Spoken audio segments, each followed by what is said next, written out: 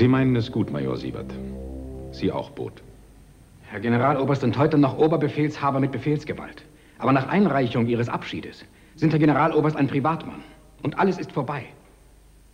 Wenn endlich Schluss gemacht würde mit der geheimen Reichssache, die Karten offen auf den Tisch gelegt würden, dann könnten die Generale mit kollektivem Rücktritt drohen. Und es wäre aus mit der Infamie. So beginnt ein Bürgerkrieg. Da ging es nicht darum, die Gestapo in der Prinz-Albrecht-Straße auszuheben, sondern zur Reichskanzlei zu marschieren. Bin ich der Mann dazu? Und ist unser heutiges Heer die alte Reichswehr? Anstatt 44 Generale damals sind es heute 275. Die meisten von Ihnen würden nur finden, ich wolle mich vor dem Urteil eines ordnungsgemäß eingesetzten Kriegsgerichts drücken. Auch mir geht in den Nächten durch den Kopf, Gemeinheit mit Gewalt zu beantworten. Aber das Deutsche auf Deutsche schießen, das will ich nicht auf meinem Gewissen haben. Ich habe noch nicht unterschrieben. Ich danke Ihnen, meine Herren.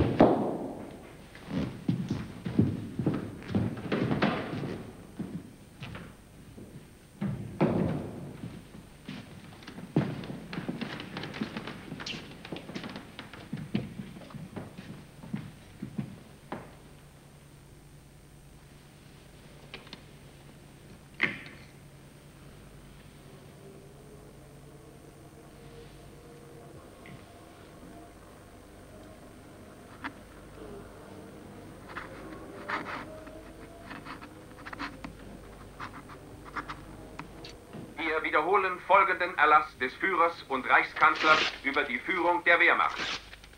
Berlin, 5. Februar 1938. Die Befehlsgewalt über die gesamte Wehrmacht übe ich von jetzt an unmittelbar persönlich aus. Das bisherige Wehrmachtsamt im Reichskriegsministerium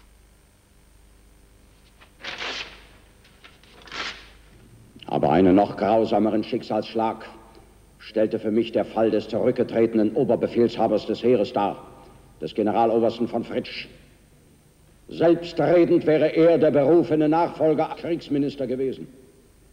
Einen besseren hätte ich mir nicht wünschen können. Der Führer betonte, er trenne sich vom zurückgetretenen Reichskriegsminister Generalfeldmarschall Werner von Blomberg mit dem Ausdruck tief bewegter Dankbarkeit. An den aus seiner Stellung scheidenden Generaloberst von Fritsch richtete der Führer und Reichskanzler folgendes Schreiben. Mit Rücksicht auf Ihre angegriffene Gesundheit haben Sie sich gezwungen gesehen, mich um die Enthebung von Ihrer Dienststellung zu bitten. Da wird einem Speier übel. Nachdem ein Pardon, stattgehabter Aufenthalt im Süden... Und der machte in der Reichskanzlei, ich will nicht sagen, den Eindruck eines Schuldigen.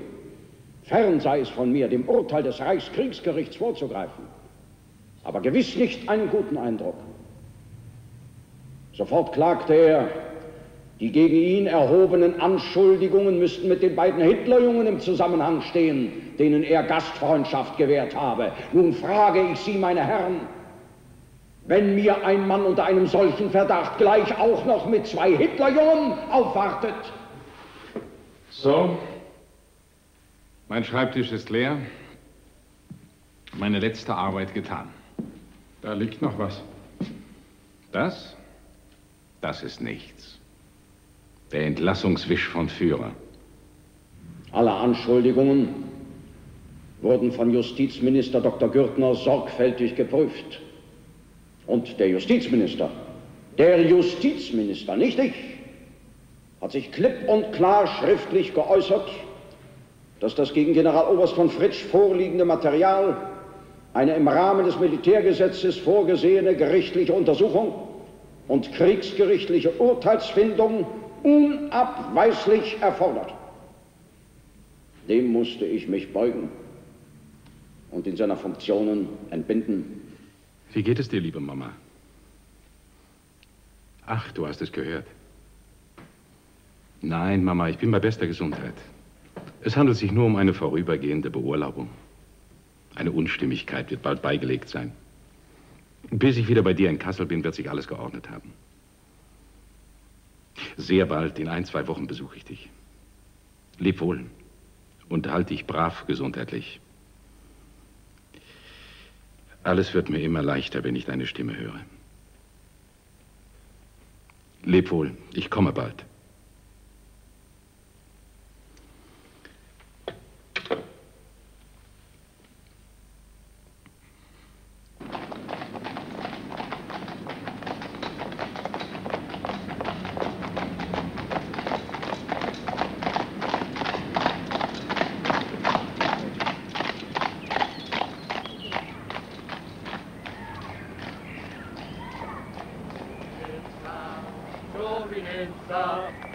Primavera di bellezza nella vita e nella spezza ritrovando segnerà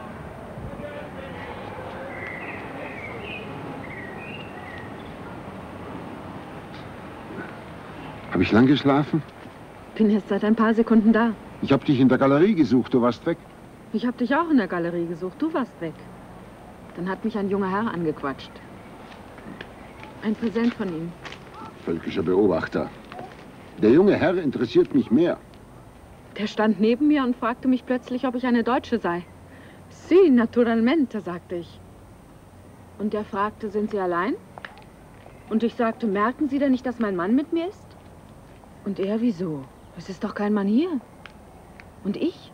Mein Mann ist immer mit mir, auch wenn er nicht mit mir ist. Hm, das lügst du jetzt. Aber deine Lügen sind mir lieber als alle Wahrheiten. Bildet sich der junge Mann ein, dass er dich wiedersehen wird? Bildet er sich nicht ein. Sagte nämlich der junge Mann. Ich kenne Sie doch überhaupt. Sind Sie nicht die Frau von Blomberg? Hm. Er ist nämlich Leipziger und hat dieses schreckliche Foto vor dem Affenkäfig gesehen. Oh. Daraufhin hat er mir den völkischen Beobachter gegeben, weil da nämlich etwas über dich drinsteht.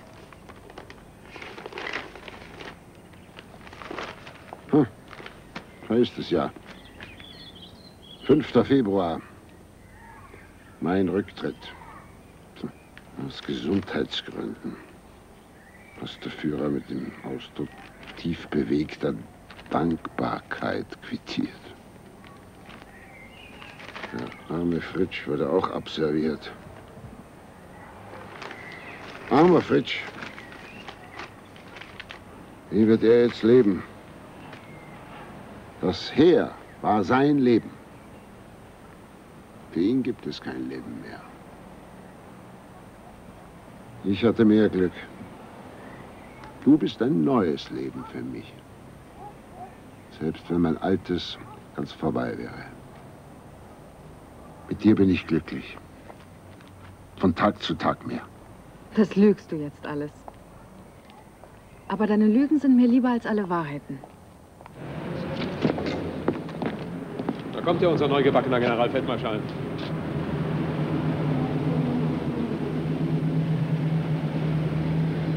Immerhin ist er nicht Reichskriegsminister geworden. Ein Hitler, Generalfeldmarschall. Ich hatte noch keine Gelegenheit, Ihnen persönlich zu gratulieren, Herr Generalfeldmarschall. Sind vermutlich sehr beschäftigt. Bei Ihnen in der Prinz-Albrecht-Straße soll eine fürchterliche Nervosität herrschen. Nervosität bei uns? Der Fall Fritsch. Das Heer hält die SS und die Gestapo für verantwortlich. General von Hase soll darauf brennen, zur Prinz-Albrecht-Straße zu marschieren. Da sind die Potsdamer, Spandauer und Döberitzer Truppen. Wir sind nicht blind und nicht taub. Wir ziehen die gesamte SS im Raum Berlin zusammen. Vielleicht muss es soweit kommen.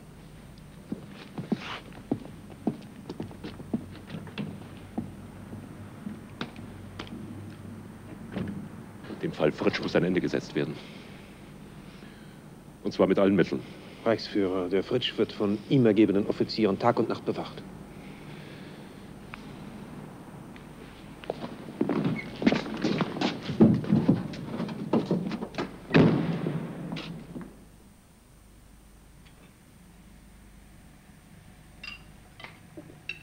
Wann geht dein Zug?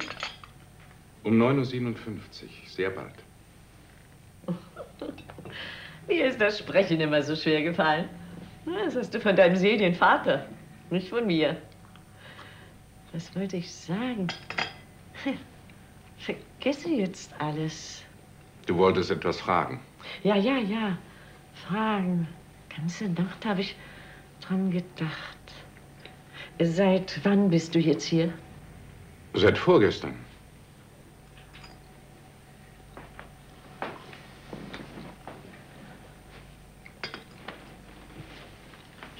Mich bedrückt etwas.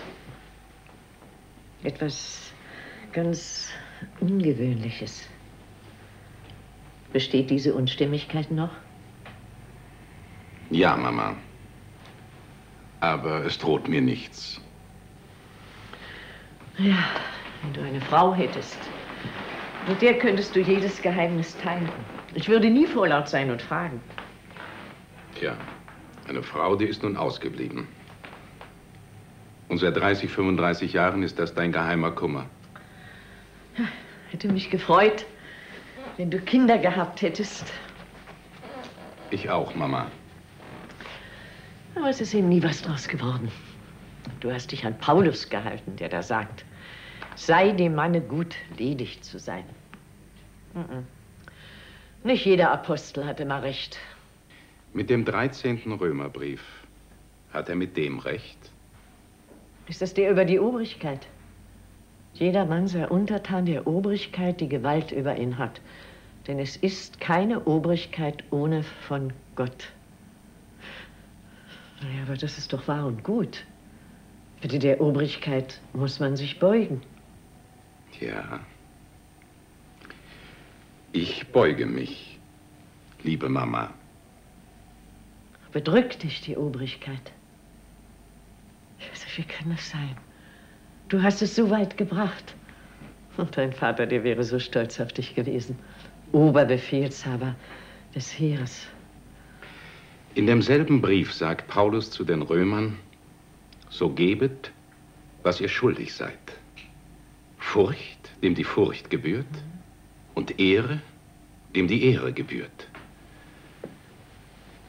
Wenn aber dem, dem die Furcht gebührt, nicht zugleich auch Ehre gebührt, was tun die Römer dann? Was machen wir Deutschen? Bedrückt dich der Führer. Es bedrückt mich eher, dass ich Paulus nicht verstehe. Er sagt, es ist keine Obrigkeit ohne Gott. Sind nicht Märtyrer ohne Zahl gestorben, weil sie sich weigerten, den römischen Cäsar Imperator als Gott anzubeten? Ich bin kein Rebell. Aber empfiehlt mir Paulus, ein Götzendiener zu sein? Nein. Nein, so hat er das nicht gemeint. In Gewissensnot gilt nur der wahre Gott, von dessen Geist und Leib wir sind. Ja.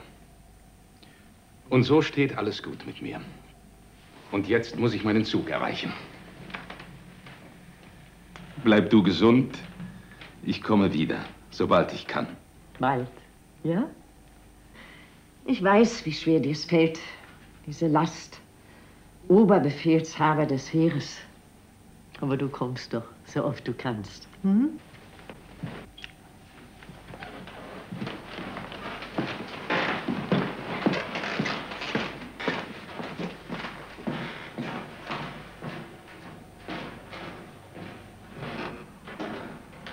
Werner! Werner, ich, ich, wollte dich doch noch was fragen. Ganze Nacht habe ich dran gedacht.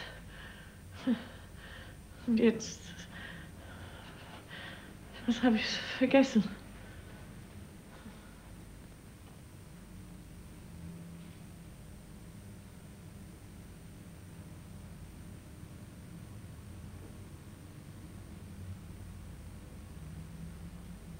Ja, das stimmt alles. Kann unterschrieben werden. Ich will noch einen Zusatz zum Protokoll diktieren. Herr Generaloberst? Schreiben Sie bitte. Eine so schmachvolle und unwürdige Behandlung hat noch in keiner Zeit je ein Volk seinem Oberbefehlshaber angedeihen lassen. Ich gebe zu Protokoll, damit die spätere Geschichtsschreibung weiß, wie im Jahre 1938 der Oberbefehlshaber des deutschen Heeres behandelt worden ist. Eine solche Behandlung ist entehrend für die ganze Armee. Entehrend für die ganze Armee. Herr Generaloberst, Das ist Explosivstoff. Direkt gegen den Führer gerichtet. Genau diese Sätze hätten schon vor Wochen der ganzen Generalität gesagt werden sollen. Tut mir leid. Komme von der Gestapo. Wieder ein paar frühere Burschen verhört. Wieder ein Radau. Gründliche Leute. Fehling sagte hinterher, dass dieser Schmidt aus den Opfern seiner Erpressung oft mehr macht, als sie tatsächlich sind. Ihr Fall, Graf, fiel mir ein. Er hat Sie doch seinerzeit auch der Gestapo als einen 175er angezeigt. Ja, allerdings. Aber der Golf, den er wirklich meinte und der tatsächlich homosexuell war, der schrieb sich mit einfachem Z und nicht wie ich mit TZ. Außerdem wohnte er in der Bellevue-Straße als Rechtsanwalt. Freilich, er war mit mir für die Gestapo leicht zu verwechseln. Ein blonder Hühner mit Brille. Dieser Schmidt ist ein Renommiererpresser, der seine Opfer möglichst hinaufstilisiert. Ist es da nicht naheliegend, dasselbe im Fall des Herrn Generaloberst anzunehmen? Sie meinen, dass der Lump damals irgendwen anders tatsächlich beobachtet hat? Kanter, Sie haben es. Die Geschichte ist einfach zu detailliert, um erfunden zu sein. Er hat also jemanden erpresst, der so ähnlich heißt wie der Herr Generaloberst. Ja, zum Beispiel Frisch oder Fries, irgend sowas. Könnte auch ein von sein. Ja, vielleicht auch ein Offizier. Wohnhaft Lichterfelder Ost. Meisinger führt die Vernehmung, damals 36. Er hört einen ähnlich klingenden Namen und sofort legt er diesem Ganoven ein Foto des bei der gesamten SS verhassten Herrn Generalobersten von Fritsch vor. Und dann fragt er ihn, war das dieser Mann? Genau so. Und der Schmidt weiß genau, was die Gestapo zu hören wünscht. Vor viereinhalb Jahren, sagen Sie? Nee. Hey, mit so einem Gedächtnis trete ich auf im Zirkus. Ein pensionierter Offizier, sagen Sie? Ja, um die 60. Er hat einen pelzgewutterten Mantel getragen, mit einem Pelzkragen und einen Stock mit silberner Krücke. Stock mit silberner Krücke? Ja, kennen Sie jemanden mit so einem Stock? Hm, der Rittmeister hat so einen Stock. Er kommt gelegentlich immer mit einer Dame, einer Fliegerin. Er ist nicht auf dem Damm, ganz und ja nicht auf dem Posten. Ja, wissen Sie vielleicht den Namen von dem Herrn? Vom Adel ist er. Er liegt mir auf der Zunge. Er wohnt da in der Gegend. Na und genauer, wissen Sie das? In der Ferdinandstraße. Kennen Sie zufällig die Hausnummer? Ah, nee, ich war noch nie da in Ihr Laden. Sie haben uns sehr geholfen, Frau Wirtin. Ist nicht nötig. Frisch! Was? Frisch! Das ist der Name, von dem wir wissen.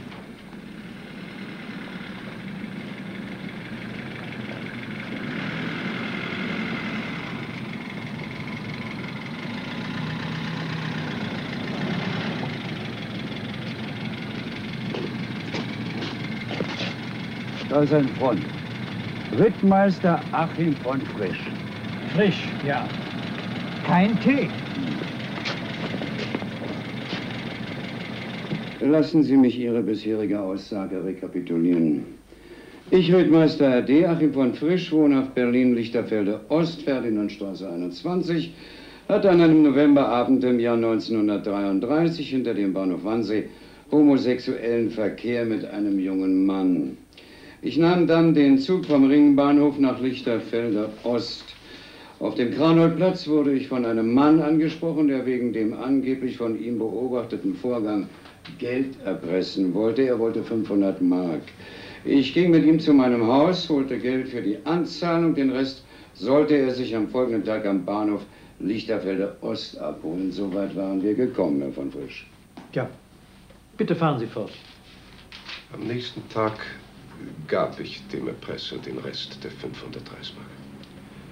Zwei, drei Tage später kam er wieder, sein Vorgesetzter bei der Kriminalpolizei sei mit der Summe nicht einverstanden und wachte auf mich beim Bahnhof. Der angebliche Vorgesetzte verlangte 2500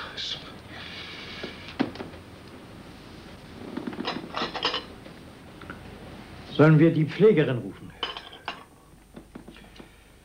Geht schon. Für einigten uns dann auf 2000 Reichsmark. 1000 sofort, der Rest irgendwann später.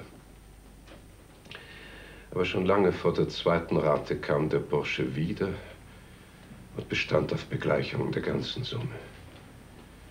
Ich hob Geld von der Dresdner Bank ab und zahlte den Mann im Café Ost aus. Ich ließ ihn eine Empfangsbestätigung unterschreiben. Haben Sie die noch? Sicher.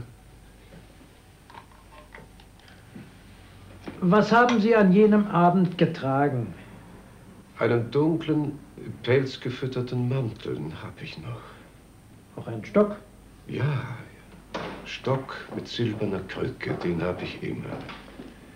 Ah, bitte, bringen Sie aus dem Schreibtisch die eiserne Kasse hin. Das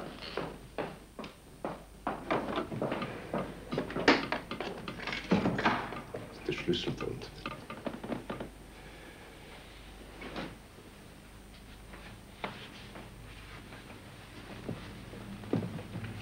Ja, genau, das war er. Er nannte sich Kröger.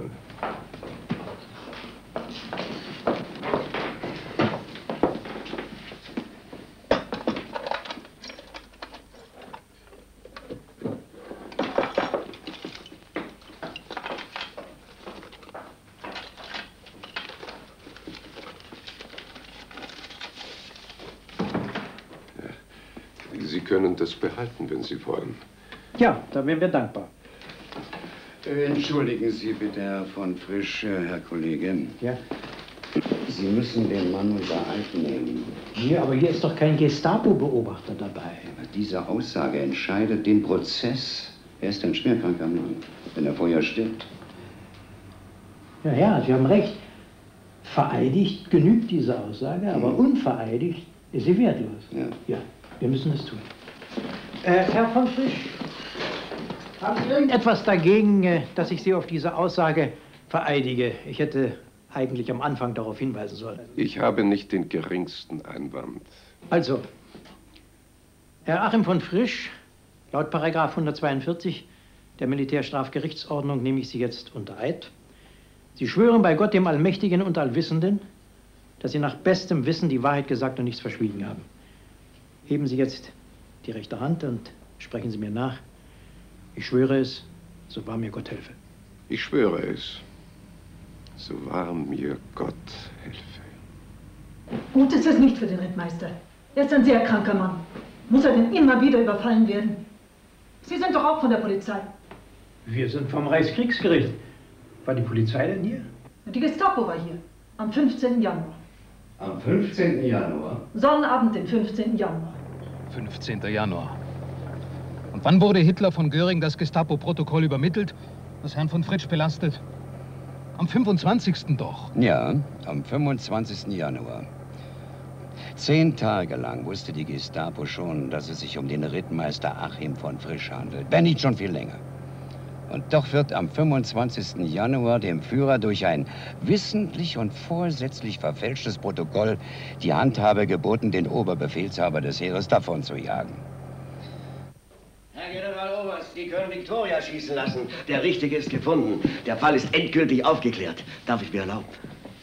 Herr Generaloberst, der Albtraum ist vorbei. Darf ich der Erste sein? Aber nein, mein Lieber, der Erste bin schon ich. Sie können sich um eine Vase für diese Rosen verdient machen. Der Fall ist restlos aufgeklärt. Wir lassen Victoria schießen! Auch das wird dem Führer nicht genügen. Aber verehrter Herr Generaloberst, der Fall ist durch Wahrheitsfindung abgeschlossen. Beim Führer haben Wahrheiten sehr kurze Beine. Sind Sie sicher, dass Sie nur einmal die Begehung eines homosexuellen Deliktes hinter dem Bahnhof Wannsee beobachtet haben? Jawohl, nur das eine Mal. Und dass danach der Herr nach Lichterfelde Ost fuhr und Sie mitfuhren, das hat sich auch nur ein einziges Mal begeben. Nur das eine Mal. Und das war der Herr Generaloberst Werner von Fritsch. Welches Haus betrat er? Ferdinandstraße 21. Haben Sie sonst irgendwann im Bahnhofswartesaal Lichterfelde Ost Geld erhalten? Nee, das war das einzige Mal. Und Sie haben darüber eine Quittung unterschrieben. Ja, das habe ich getan. Unterschreiben Sie oft Quittungen? Nie im Leben. Das war die eine einzige Quittung. So?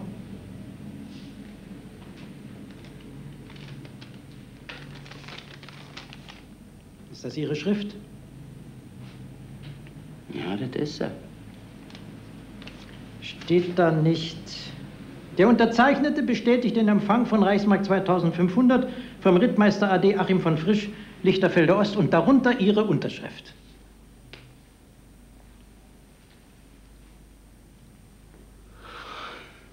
Der.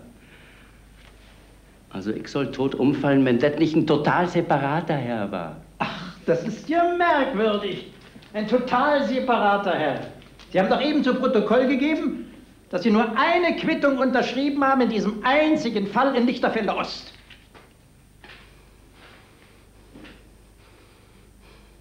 Also nun sage ich kein Sterbenswort mehr. Für was denn? Für was muss ich mir selber belasten? Wie beurteilen Sie diese Aussage des Rittmeisters AD Achim von Frisch, Reichsführer? Schmidt erklärte ausdrücklich, es handle sich dabei um zwei ganz verschiedene Fälle. Halten Sie das für glaubwürdig, Reichsführer? Wie Schmidt sagt, es kommt in den besten Familien vor, dass man mal was vergisst. Er will vergessen haben, dass er nicht einmal, sondern zweimal hinter dem Bahnhof Wannsee die Begehung eines 175er Delikts beobachtet hat. Zwei Herren nach Lichterfelder Ost begleitete, beide zur Ferdinandstraße. Dieser Achim von Frisch, wie glaubwürdig ist seine Aussage? Sie wurde unter Eid abgegeben. Ein alter 175er. Schwer krank dazu, ich bitte Sie. Was heißt da Eid? Sie haben recht getan, zu mir zu kommen, Herr General. Aber meine Zweifel sind nicht genügend beseitigt, um den Kriegsgerichtsprozess abzusagen. Beim Kriegsgericht bleibt es jetzt. Außer dieser Otto Schmidt gibt vorher uneingeschränkt zu, dass er den Generaloberst von Fritsch verleumdet hat. Danke.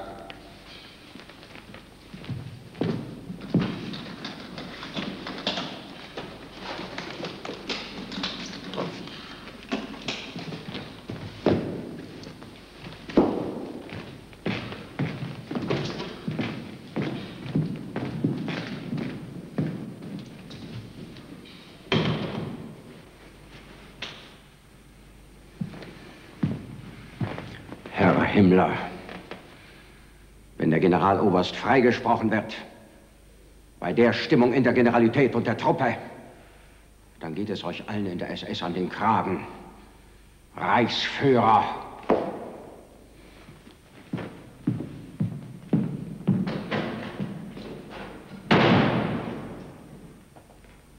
Immerhin. Ihr Vorschlag, ihn unter Eid zu nehmen, hat ihm das Leben gerettet. Jetzt hätten die nichts davon, ihn totzuschlagen. Aber wie die den zurichten, damit er alles zurücknimmt. Ja. Äh, äh, Kriminalinspektor Fehling, ja? Ja, hier ist Kriegsgerichtsrat Dr. Biron. Ihr habt den Rittmeister AD Achim von Frisch in Schutzhaft genommen, nicht wahr? Wenn uns nicht sofort zu einer eingehenderen Befragung überstellt wird, begibt sich General Heitz zum Führer. Verstanden, ja. Sonst werde General Heitz sofort zum Führer gehen. Na, dann nutzen wir die Zeit aus, die uns noch bleibt. Los, Fehling, sofort verschärfte Vernehmung. Herr Kriminalrat, der hat schon eine Platzwunde da, eine gespaltene Oberlippe. Na ja, da wird's doch höchste Zeit, dass der degenerierte Mensch ein bisschen Gaudi erlebt, ha?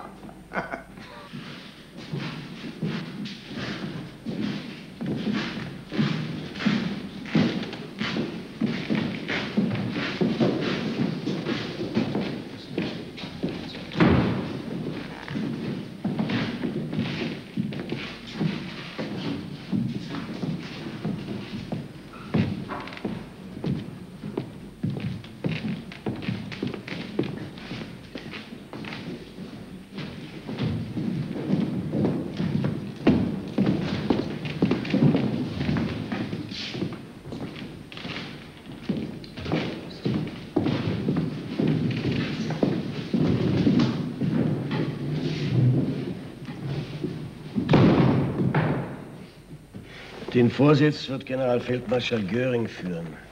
Auf Führerbefehl? Ich nehme an, er hat sich selber vorgeschlagen.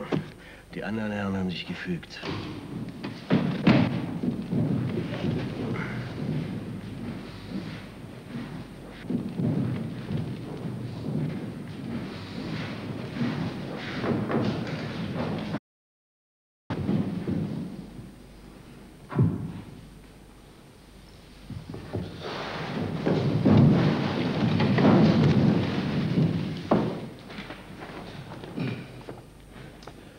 Es sollen die Behauptungen nachgeprüft werden, dass Generaloberst AD Freiherr von Fritsch in Berlin in der Zeit vom Oktober 1933 bis März 1936 mit dem Hitlerjungen Fritz Wermelskirch Unzucht getrieben habe. Im Winter 1934 mit dem Hitlerjungen Gerhard Zeidler wieder natürliche Unzucht getrieben habe. Im November 1933 mit dem Arbeiter Martin Weingärtner wieder natürliche Unzucht getrieben habe. Durch gerichtliche Entscheidung in der Hauptverhandlung soll festgestellt werden, ob der Generaloberst AD Freiherr von Fritsch sich dieser behaupteten Verfehlungen im Sinne des Paragraphen 175 neuer und alter Fassung 74 Reichsstrafgesetzbuch schuldig gemacht hat oder ob er nicht überführt ist oder ob er unschuldig ist. Ich hatte mit diesem Mann Schmidt nie etwas zu tun. Ich wurde niemals erpresst, weder von diesem Schmidt noch von irgendwem anderen. Ich habe niemals eine homosexuelle Handlung begangen. Ich bin nicht homosexuell veranlagt. Ich habe eine normale Einstellung zu Frauen in geschlechtlicher Hinsicht. Die Behauptungen des Schmidt, soweit sie mich betreffen, enthalten nicht ein einziges wahres Wort. Herr Generalfeldmarschall, bitte. Der Zeuge Schmidt gab sehr viele Einzelheiten über Sie zu Protokoll, Herr Generaloberst. Wie Sie bei jedem Anlass gekleidet waren, wo Sie wohnten und so weiter. Besitzen Sie zum Beispiel einen pelzgefütterten Mantel mit Pelzkragen? Einen solchen Mantel habe ich niemals besessen. Schmidt sagte, ich hätte geraucht. Ich bin seit den 20er Jahren Nichtraucher. Ich hatte nie ein Konto bei der Dresdner Bank. Und ich kenne niemanden im Haus Ferdinandstraße 21. Danke. Zeuge Otto Schmidt. Sie können die beiden Fälle, sagen Sie, absolut auseinanderhalten. Ja, das stimmt. Nun erzählen Sie mir mal, Sie haben da hinter dem Bahnhof Wannsee einmal den Rittmeister von Frisch bei so einem Delikt beobachtet und das andere Mal angeblich den Herrn Generaloberst von Fritsch. Beschreiben Sie mir die Mäntel, die die beiden Herren damals trugen. Weiß ich nicht mehr. Das ist zu lange her. Trugen die Herren vielleicht Pelzmäntel? Kann ich nicht mehr sagen. Was trug der Generaloberst von Fritsch? Der, der, der trug einen dunklen, dicken Mantel. Kann euch gefüttert gewesen sein mit Pelz? Das kann ich nicht sagen. Angenommen, dieser Pelzmantel hätte einen schönen Pelzkragen gehabt, wäre Ihnen das nicht schon bei der Beobachtung des Delikts aufgefallen? Da habe ich nicht auf den Kragen gekickt. Ja, da will ich Ihnen mal sagen, worauf Sie gekickt haben. Gestapo-Vernehmung 26. August 1936. Er trug einen Pelzmantel mit einem Pelzkragen aus kostbarem braunen Pelz. Verhör 3. September 1936. Der Herr im Pelzmantel. Also Schmidt, dieser Pelzmantel muss ja einen mächtigen Eindruck auf Sie gemacht haben. Ja, wird schon so gewesen sein. Aber bei Ihrem letzten Gestapo-Verhör vor einigen Wochen, da sagten Sie, genauso wie vorhin eben, es sei ein dicker, dunkler Mantel gewesen. Und der Kriminaloberinspektor Huber hielt Ihnen daraufhin vor, aber Sie sagten doch, dass es ein Pelzmantel war. Und Sie antworteten, es könnte ein dicker Mantel gewesen sein, auch ein Pelz. Schmidt, nun erklären Sie dem Hohen Gericht mal, warum etwas, was früher für Sie so wichtig war, plötzlich so aus Ihrem Gedächtnis verschwindet. Gedächtnis ist Gedächtnis. Diktieren kann ich dem nicht. Ist es nicht vielleicht so, dass Ihnen plötzlich bekannt wurde, der Rittmeister Achim von Frisch sei von der Gestapo ausfindig gemacht worden? Herr Graf von der Goltz, ich bitte mir aus, bloße Spekulationen, die die geheime Staatspolizei betreffen, zu unterlassen. Wie Herr Generalfeldmarschall befehlen. Ist das nicht so, Schmidt, dass Ihnen bewusst wurde, wie schlecht die ganze Sache für Sie ausgehen kann, wenn der Rittmeister von Frisch aufgefunden wird?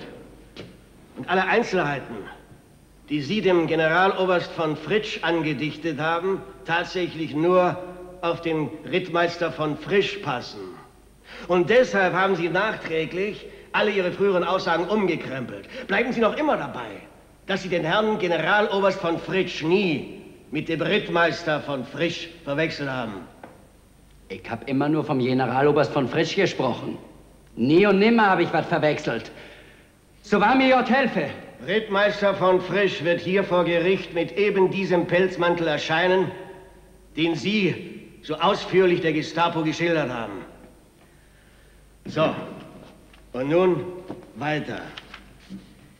An jenem Novemberabend hinter dem Bahnhof Wannsee, als Sie den angeblichen Generaloberst von Fritsch belauerten, was äh, hatte er da einen Stock bei sich? Ja. Wie sah der Stock aus? Na, wie ein Stock. Ein dunkler Stock. Ja. Jetzt ist er nur noch dunkel. Aber bei Ihrem Gestapo-Verhör vom August 36, da sagen Sie noch klipp und klar, der Herr habe einen Stock getragen mit silbernem Griff oder einer silbernen Krücke. Das sagten Sie damals über den Herrn Generaloberst von Fritsch. Na, wenn ich das gesagt habe. Sie wissen ganz genau, wie der Stock aussah und wer ihn getragen hat. Nämlich der Herr Rittmeister von Frisch, der hier vor Gericht als Zeuge mit eben diesem Stock erscheinen wird, und zwar mit silbernem Griff. Haben Sie noch was dazu zu sagen? Na, dazu haben Sie wohl nichts mehr zu sagen, Schmidt. Aber vielleicht können Sie mir sagen, ob Ihrem Eindruck nach der Herr Generaloberst von Fritsch ein starker Raucher war. Nee. Praktisch war der nicht Raucher. Was heißt praktisch? Na, minimal geraucht hat er. So gut wie ja nicht. Na, da will ich Ihrem Gedächtnis ein bisschen nachhelfen. Gestapo-Verhöre August und September 1936. Der betroffene Herr, also der Generaloberst von Fritsch, zündete sich noch vor seiner Begegnung mit dem Bayern-Seppel in der Bahnhofshalle des Bahnhofs Wannsee eine Zigarre an. Kurz nachdem sie zusammen den Bahnhof Wannsee verlassen hatten, das heißt also auf dem Weg zu dem angeblichen Tatort, zündeten sich der Bayern-Seppel und dieser Herr Zigarren oder Zigaretten an. Und was, Schmidt, geschah nach diesem angeblichen Delikt? Beide Personen zündeten Zigarren an, gingen dann auseinander. Und kurz darauf, als sie dem angeblichen Generaloberst von Fritsch in den Zug nach Lichterfelde Ost gefolgt waren, da erhielt ich zunächst eine Zigarre aus seinem Zigarrenetui. Und über die Situation in der Bahnhofsgaststätte Lichterfelde Ost, da steht hier im Protokoll, wir tranken zusammen Asbach uralt und rauchten Zigarren. Schmidt, nennen Sie den Mann, den Sie so schildern, praktisch einen Nichtraucher. Nicht Raucher, das sage ich nicht. So doof bin ich nicht. Und wie kommen Sie zu Ihren früheren Aussagen über praktisch einen Kettenraucher, zu Ihren neuesten Aussagen über praktisch einen Nichtraucher?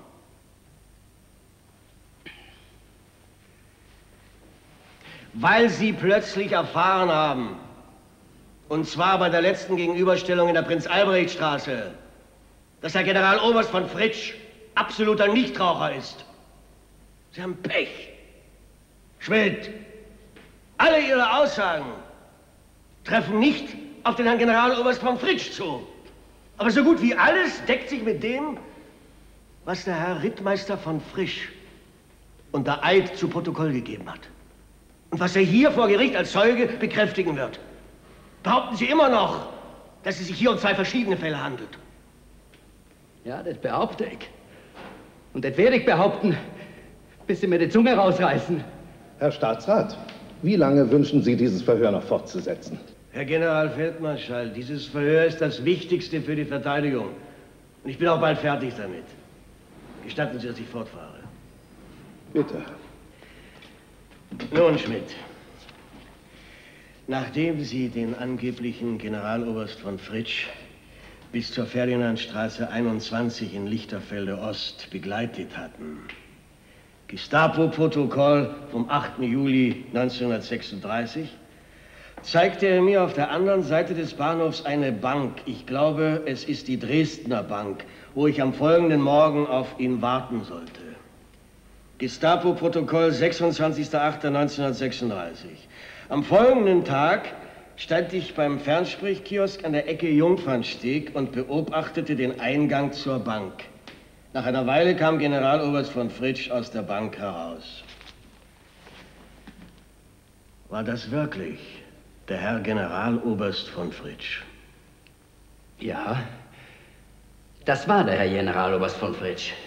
Aber bei Ihrer letzten kriegsgerichtlichen Vernehmung gaben Sie zu Protokoll, dass Sie nur einen einzigen Erpressungsfall in Lichterfelde Ost hatten, bis Ihnen die Quittung des Rittmeisters von Frisch vorgelegt wurde.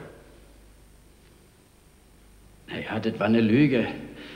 Das gebe ich ja zu. Ich hatte Angst. Jetzt aber soll Ihnen das Gericht glauben, dass der Mann, dem Sie bis nach Lichterfelde Ost in die Ferdinandstraße 21 gefolgt sind und der Ihnen dort die Dresdner Bank gezeigt hat, wo er ein Konto hat und den Sie tatsächlich am nächsten Tag aus dieser Dresdner Bank kommen sahen, dass dieser Mann nicht der Mann ist, auf den das hier alles zutrifft, der das hier vor Gericht bestätigen wird, sondern der Generaloberst von Fritsch, dessen Privatwohnung in der Nähe der Kurfürstenstraße ist und der sein Bankkonto bei der Deutschen Bank in der Kurfürstenstraße hat, in Charlottenburg. Und den in Lichterfelde Ost, in der Ferdinandstraße 21, kein Mensch kennt. Wagen Sie, das dem Gericht als wahr anzubieten. Das ist ein Kuddelmuddel, das, das gebe ich ja zu. Genau darum habe ich mir ja nicht getraut, der Gestapo von den Bedefällen zu erzählen. Otto habe ich mir gesagt, wer glaubt dir denn das? Erzähl du nur von dem Ehenfall, dem General von Fritsch.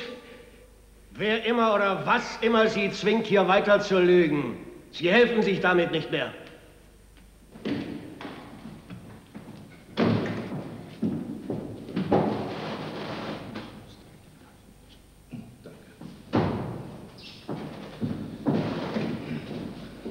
Aus Gründen, die das Interesse des Reichs betreffen, muss das Verfahren auf einige Tage ausgesetzt werden.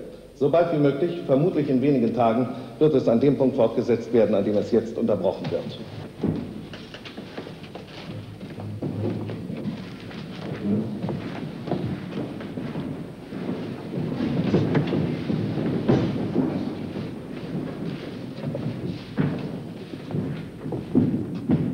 Einmarsch in Österreich.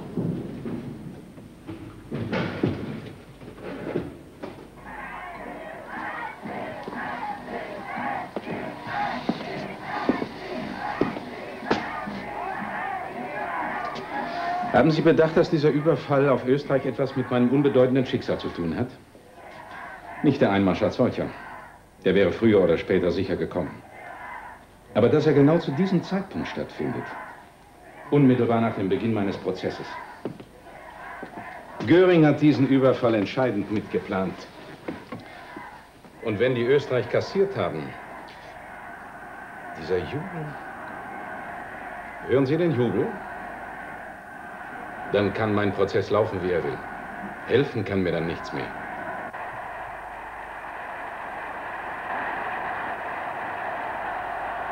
Il tremendo entusiasmo della popolazione impazzita per la presenza di Adolf Hitler nel grande piazzale di fronte al Palazzo Imperiale è davvero impressionante. Deutschland, unser neues Glied, die Nationalsozialistische Partei und die Wehrmacht unseres Reiches, Sieg heil! Das ist es. Das ist die Stunde Deutschlands. Ich muss sofort Keitel telegrafieren. Warum? Ja, er weiß ja nicht, dass wir von Amalfi nach Sorrent sind. Glaubst du, dass jetzt Krieg ausbricht? Jetzt ist alles drin. England und Frankreich müssen scharf reagieren. Vielleicht sogar mobilisieren. Jetzt werde ich gerufen. Ich werde gerufen. Komm,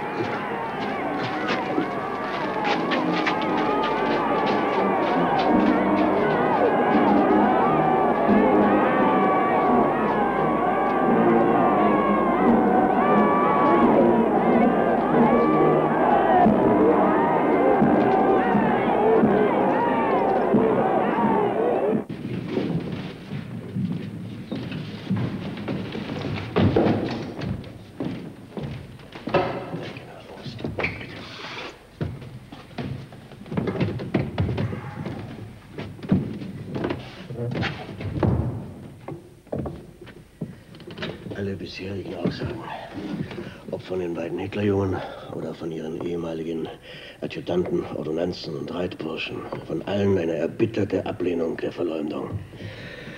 Und jetzt kommt gleich Rittmeister von Frisch. Aussagefähig? Schwer misshandelt, aber er hat kein Wort zurückgenommen. Sie haben Ihre Aussage in Gegenwart der Reichskriegsgerichtsräte Dr. Biron und Dr. Sack aus freien Stücken gemacht? Völlig freiwillig, Herr Generalfeldmarschall. Sie haben diesen Pelzmantel schon im November 1933 besessen und bei dem geschilderten Anlass getragen? Ich besitze ihn seit mindestens zehn Jahren und habe ihn damals getragen. Auch denselben Stock? Auch den Stock. An der Identität des Erpressers haben Sie keinen Zweifel? Überhaupt keinen Zweifel. Nach Begleichung der gesamten erpressten Summe kam er zweimal wieder, um noch mehr zu erpressen. Und da kriegte er nur ein Gläschen Schnaps. Schmidt! Sie haben die Aussage gehört. Was sagen Sie dazu? Das hat sich schon so zugetragen. Ähnlich ist das schon. Das ist ja das Ganze mal leer. Sie bleiben bei Ihrer Beschuldigung des Generalobersten? Irgendwann geht's zu weit. Exakte Wahrheit. Zurücknehmen, das kann ich nicht. Herr von Frisch kann abtreten. Darf ich noch etwas sagen? Bitte. Ich bedauere tief, dass der auch von mir hochverehrte Herr Generaloberst von Fritsch meinetwegen so viel zu erdulden hat. Der Zeuge ist entlassen.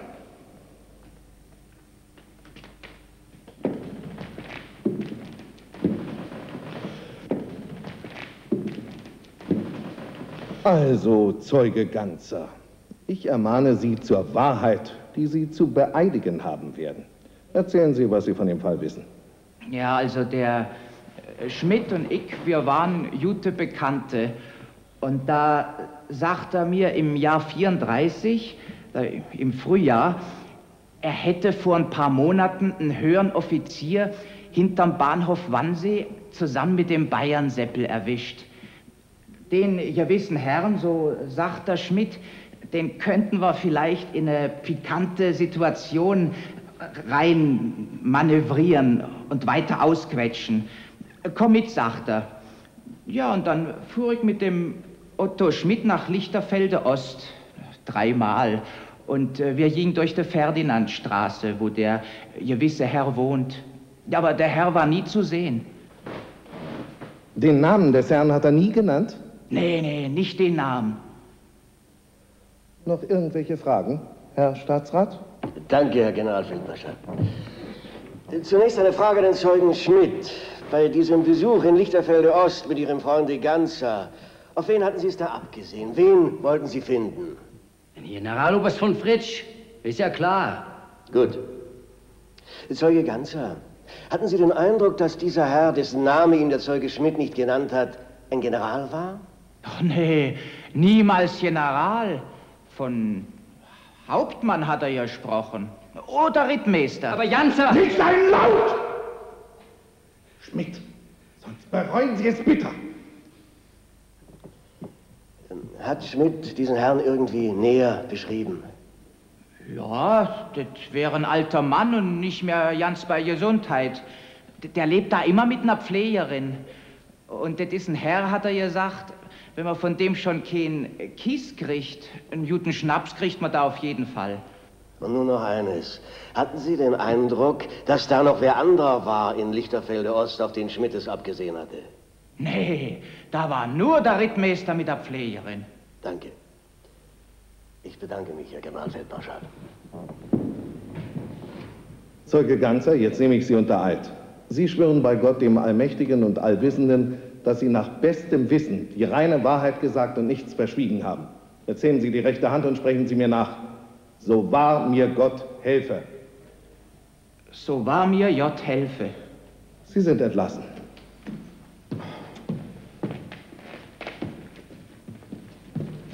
Schmidt! Treten Sie vor. Der Janzer, der hat nur alles durcheinander gebracht. Ich habe ihm mehrere Wohnungen gezeigt und mehrere Fenster. Sind ja der verlogenste Mensch, der mir je vorgekommen ist. Glauben Sie, Sie können uns hier noch weiter belügen? Ja. Ich hab gelogen. Ich hab den Feld, den Generaloberst von Fritsch, nie nicht gesehen. Na endlich. Damit wäre die Beweisaufnahme wohl geschlossen. Herr Generalfeldmarschall, darf ich noch eine letzte Frage stellen? Bitte. Danke. Äh, Sagen Sie uns, Schmidt, sind Sie von irgendeiner Seite bedroht worden, falls Sie Ihre Aussage berichtigen? Ich? Nee. Das heißt. Nee, nee, nee, nee. Schmidt, ich gebe Ihnen mein Wort. Es wird Ihnen kein Leid widerfahren, wenn Sie die Frage ehrlich beantworten. Naja. Heute Morgen, da ließ mir der Kriminalrat Meisinger kommen. Wenn ich meine Aussage verändere, dann Was heißt? Denn? dann fahr ich nach dem Himmel. Nach dem Gang der Verhandlungen brauche ich zur Sache selbst kein Wort mehr zu sagen. Tage des Unglücks hat die deutsche Armee nach Tagen des Sieges erlebt und ertragen. Tage der Schande bisher noch nicht. Die ungeheuerlichste Beschimpfung des ganzen Heeres durch ein einmalig ungeheuerliches Vorgehen gegen seinen Oberbefehlshaber von Verbrecherhand unternommen, ist in nichts verflogen. Der Ehrenschild des Heeres und seines Oberbefehlshabers ist rein.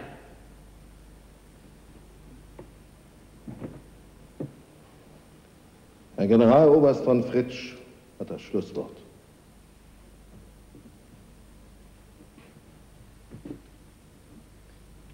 Ich bin aufgrund der erlogenen Bezichtigungen eines ehrlosen Lumpen mit Schmach und Schande überhäuft worden. Meine Ehre ist in den Staub getreten. Ich bin aufgrund dieser Bezichtigungen veranlasst, meinen Abschied zu nehmen. Mein Ansehen, mein Ruf als Offizier ist in weiten Kreisen der Armee untergraben. Ebenso bin ich in der Zivilbevölkerung diffamiert. Denn es ist ja allgemein in der Zivilbevölkerung bekannt, dass ich des Paragraphen 175 angeklagt bin. Meine Herren, sprechen Sie Ihr Urteil und geben Sie mir meine Ehre endlich wieder.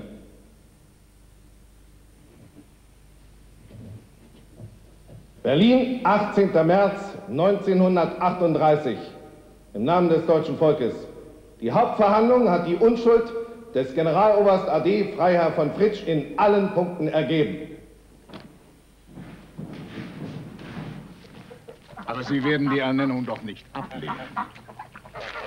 Sie werden mir doch ein Wort an den Führer mitgeben. Herr von Brauchitsch, dem Heer und seinem Oberbefehlshaber schulde ich etwas. Nein, nein, mir schulden Sie nichts. Dass ich hier in Achterberg am Rande des Truppenübungsplatzes wohnen darf, ich schulde es Ihnen. Aber dem Führer schulde ich nichts. Sie bringen mir die Ernennung zum Chef meines alten Artillerieregiments Nummer 12.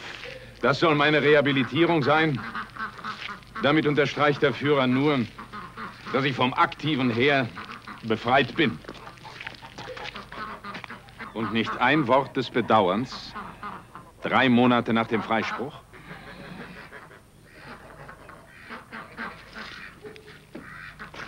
Aber gerade Worte des Bedauerns. Erschütternde Worte. Von der vorgestern im Fliegerhorst Barth. Sie hätten ihn hören sollen. Ich wäre kaum willkommen gewesen. Zum Wohle. Das Ihre. Ich werde nunmehr alles daran setzen, den untadeligen Ehrenmann, den ich in Generaloberst von Fritsch immer gesehen habe, zu rehabilitieren. Diesen schamlosen Lügner, der als Kronzeuge auftrat, habe ich ohne weiteres Verfahren erschießen lassen. Wenn ich nur imstande wäre, alle diese erschütternden Zusammenhänge jetzt der Welt offen darzulegen. Aber natürlich verbietet das die Staatsräson. Im Reichsverteidigungsrat jedoch, dessen Gründung bevorsteht, wird der Rat dieses großen Fachmannes noch wichtiger sein als in seiner bisherigen Stellung. Ich bin in dieser Sache schändlich betrogen worden. Und dass ich das Opfer eines solchen Betrugs werden kann, lässt mich erkennen, wie ich auf meinem verantwortungsvollen Wege mehr und mehr vereinsame. Nur zu gut begreife ich, wie empört manche unter Ihnen sein müssen, dass ein Mann wie der Herr von Fritsch so leiden musste, dass manche von Ihnen selbst daran dachten, deswegen den Abschied zu nehmen, ist mir begreiflich. Aber, wie Generaloberst von Brauchitsch vorher sagte, in dieser Stunde, da ein Krieg gegen die Tschechoslowakei mit Sicherheit bevorsteht, beschwöre ich Sie, die Fahne nicht zu verlassen. Heil! Heil, mein Führer! Heil! Heil! Heil! Heil! Heil! So hat er alle überzeugt, dass er das wahre Opfer ist. Einen Reichsverteidigungsrat wird es nie geben. Ein Abschluss ist das nicht. Der Schluss wird erst mit meinem Tod kommen. Wenn ich Frondeur wäre, ich hätte das Regime erschüttern können. Vielleicht mehr als erschüttern. Die Geschichte wird es Ihnen danken, dass Sie es nicht versucht haben. Oder im Gegenteil, mich nicht freisprechen. Jetzt geht es also gegen die Tschechei? Ja. Am 30. Mai hat er verfügt, es ist mein unabänderlicher Entschluss, die Tschechoslowakei in naher Zukunft durch eine militärische Aktion zu zerschlagen. Na also, von einem seiner unabänderlichen Entschlüsse zum anderen wird die Generalität gehorchen. Bis. Aber dann werde ich zum Glück nicht mehr am Leben sein. Prost.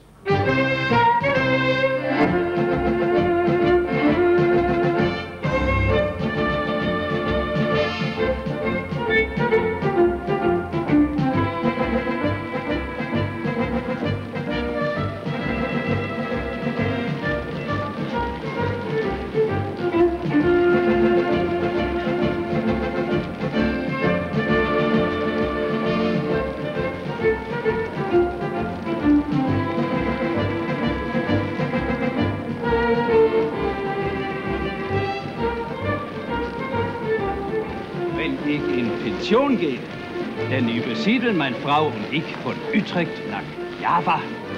Habe uns Mission eingekauft. Paradies ist. Also, offen gesagt, Herr Kapitän, meine Frau und ich würden es Ihnen nicht nachmachen. Hat Ihnen nicht zugesagt? Ja, anfangs sehr. Wir waren in Java, Borneo, Sumatra. Es schien uns, eben wie Sie sagten, paradiesisch. Aber nach diesen Monaten da unten fühlen meine Frau und ich umso mehr, dass wir nördliche Menschen sind. Uns zieht es nach dem Norden, nicht nach dem enervierenden Süden. Die, die Palmenwälder am Anfang sehr reizvoll, am Ende sehr eintönig. Was hätten wir nicht für den Anblick eines deutschen Waldes gegeben? Gehe Sie von Genua direkt nach Deutschland zurück? Nein, wir bleiben noch eine Weile in Italien. Südtirol, Meran.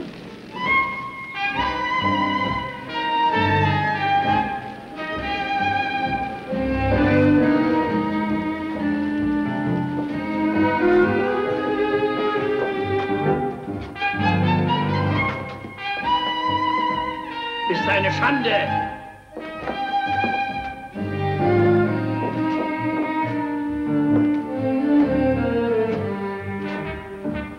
Skandal! Oh, lovely. Das soll der Führer sein? Unser Putz!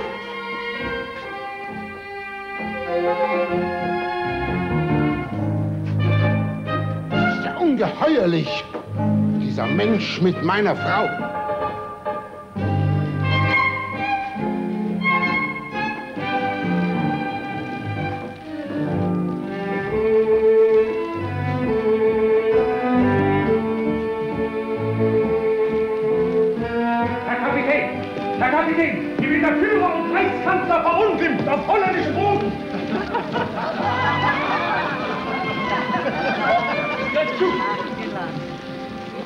Ich habe die deutsche Einmarsch nach Holland gerade noch verhindert. Darf ich um diesen Tanz bitten?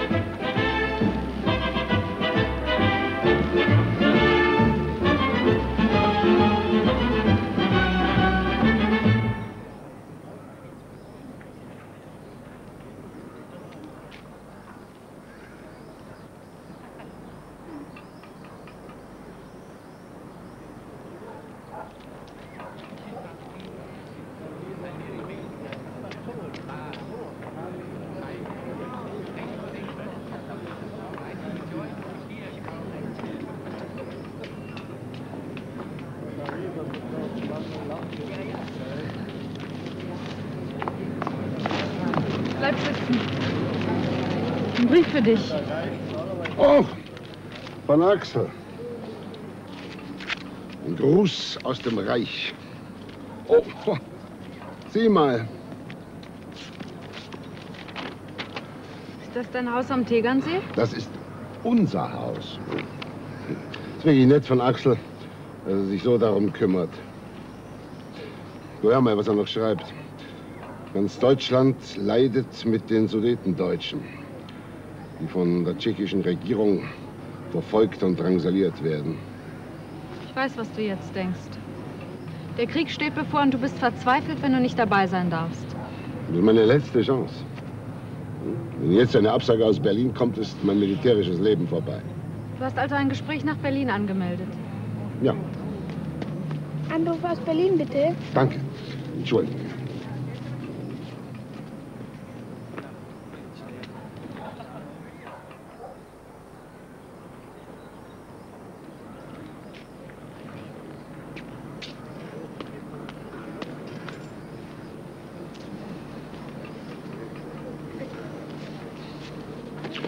Endgültiger Bescheid aus Berlin.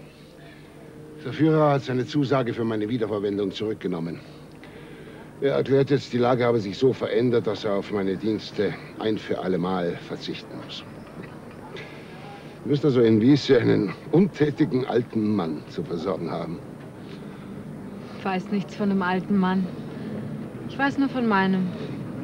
trat er den Flug nach München an, wo er zur Mittagszeit landete. Um 16 Uhr traf der britische Premierminister mit seiner Begleitung in Berchtesgaden ein, wurde da zum Berghof gefahren und Mr. Neville Chamberlain wurde vom Führer auf der obersten Stufe der Freitreppe empfangen. Das Gespräch der beiden Staatsmänner ist bereits seit zwei Stunden im Gang.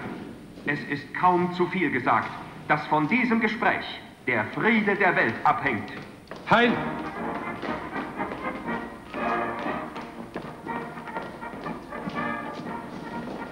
Das geht nicht mehr schief. Wieder hat der Führer einen Krieg gewonnen, ohne einen Schuss. So hoch hat er Deutschland erhoben.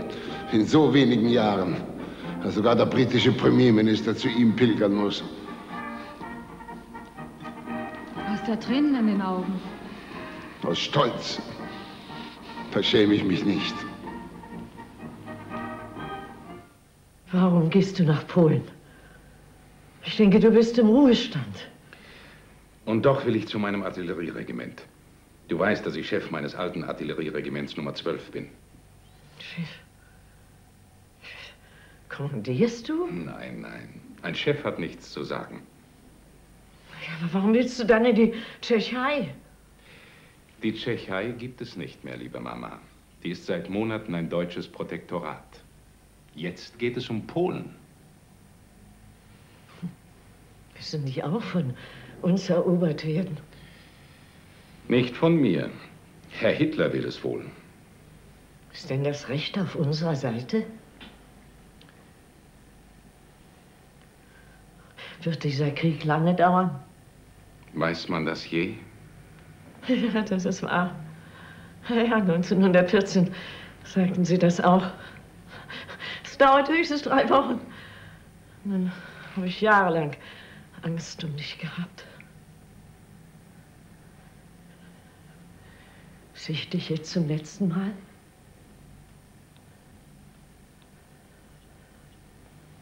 Hm. Aber ich lebe nicht mehr lange. Liebe Mama, du lebst noch Jahre und Jahre. Aber warum willst du nach Polen? Du bist im Ruhestand. Ich weiß, weiß eigentlich gar nicht warum. Ach ja, da war so ein Streit mit diesem Herrn Hitler. Warum gehst du zu deinem Regiment, wenn du nichts zu sagen hast? Weil ich es daheim in Berlin nicht aushalte. Es ist furchtbar, Tag aus, Tag ein nichts zu tun. Erlittene Kränkung geht durch den Kopf. Tag aus, Tag ein.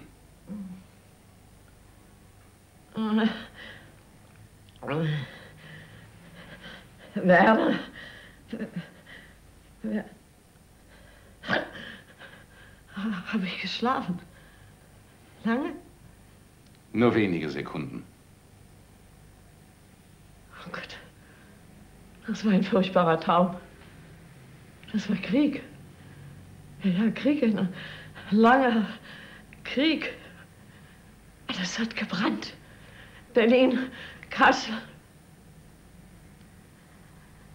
Und dann, dann war da ein Glitzern. Da, da lag wer im Schutt, halb verkohlt. In seinem linken Auge war ein Einglas. Das warst du. Aber, aber du warst doch noch ein kleiner Junge. Ah, geh nicht in diesen Krieg. Geh nicht in diesen Krieg. Das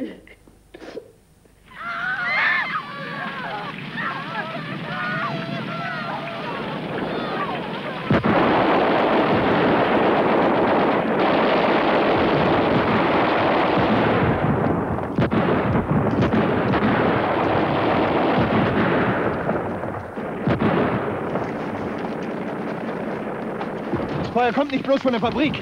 Nein, auch von rechts, hinter dem brennenden Haus. Unser Angriff bleibt hier hängen, ohne Artillerie. Darf ich Herrn Generaloberst daran erinnern, dass es 9.40 Uhr ist? Stimmt, General Küchler wartet. Zurück zum Oberkommando. Vorsicht, versprengte Polen im Wald! Deckung, Herr Generaloberst! Deckung!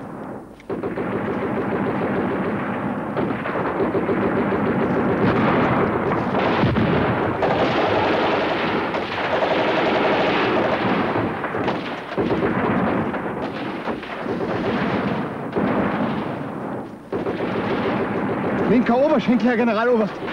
Das bin ich. Lassen Sie nur. Lassen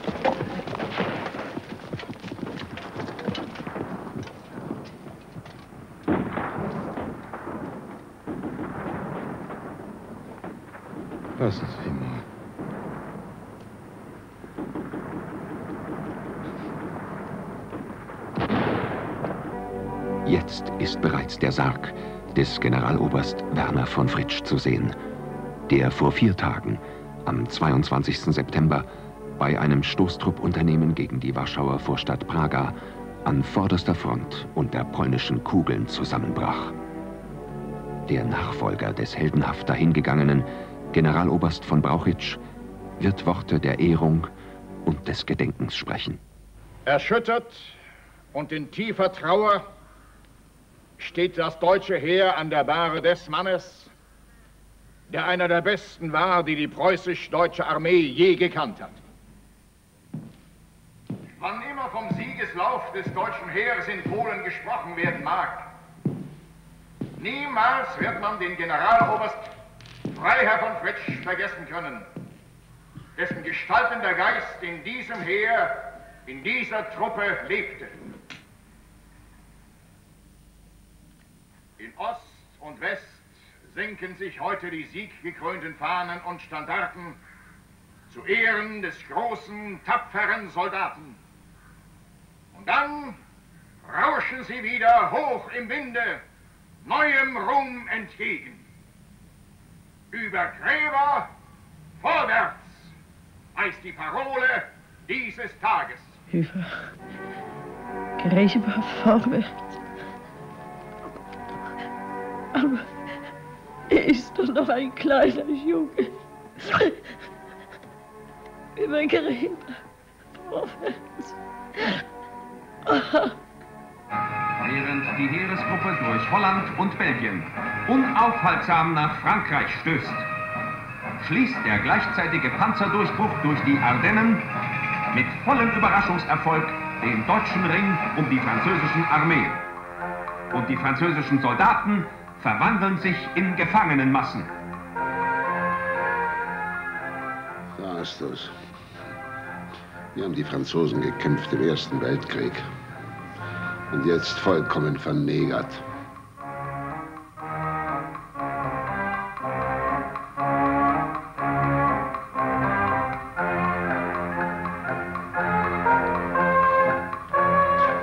Rassisch entartet. Hm, Ist das nicht furchtbar?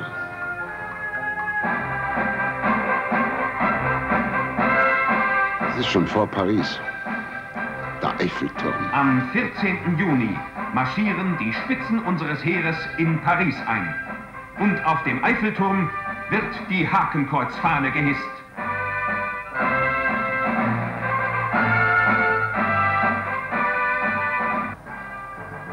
Am 10. Mai begann der Krieg im Westen. Da wäre ich gestanden. Vor dem Triumphbogen. Nach knapp über einem Monat ist er zu Ende. Mit der Eroberung von Holland, Belgien und der Niederwerfung von Frankreich. Des Führers triumphale Rückkehr nach Berlin löst eine Begeisterung aus, wie zuvor gewiss noch kein Ereignis der deutschen Geschichte. Sieg ein! Sieg ein! Sieg ein! Hey! Alle! Kann man nicht raus? Noch nicht, noch nicht. Sieg heil!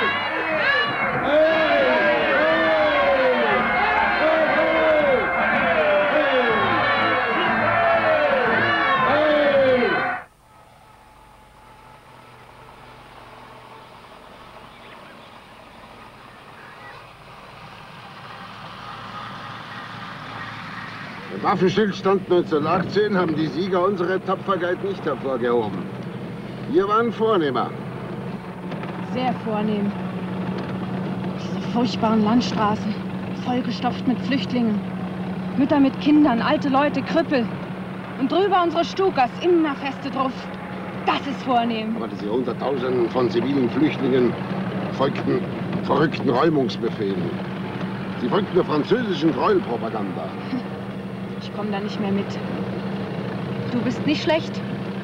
Wie schaffst du es denn, dich so der Wahrheit zu verschließen? Was treiben denn Gestapo und SD jetzt in Amsterdam, Brüssel und Paris? Entsetzen treiben die. Eva, wir sind dabei, ein Volk zu werden. Das große Volk. Das geht nicht immer ohne Entsetzen. Dass wir besonders bestialisch sein sollen, das glaube ich nicht.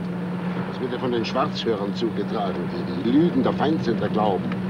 Und gegen die wir nicht brutal genug vorgehen. Bleib stehen.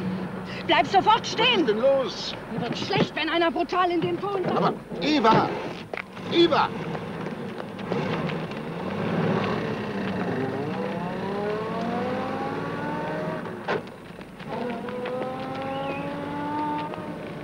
»23. November 1942. Stalin fasst nun seine Kräfte, weit überlegene Kräfte, wie es im Wehrmachtsbericht immer heißt, zur Winteroffensive zusammen. Mit der Einkesselung von Stalingrad hat er denkbar bedrohlich begonnen. In Tunesien, südwestlich Biserta, ist mein Sohn Henning durch einen britischen Tieffliegerangriff auf seinen Panzerverband getötet worden.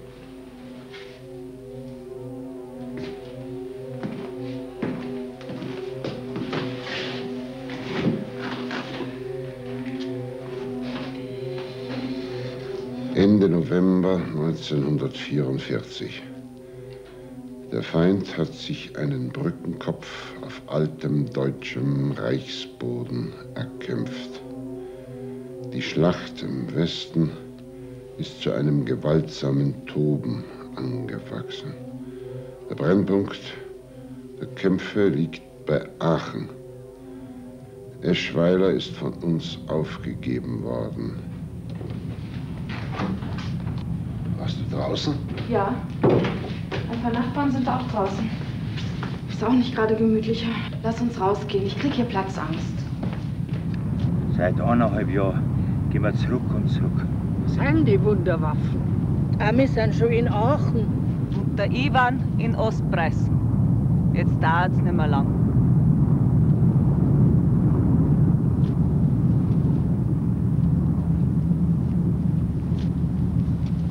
Man muss dankbar sein, dass man jetzt nicht im brennenden München sitzt. Und dann schämt man sich, dass man selbst in Sicherheit ist.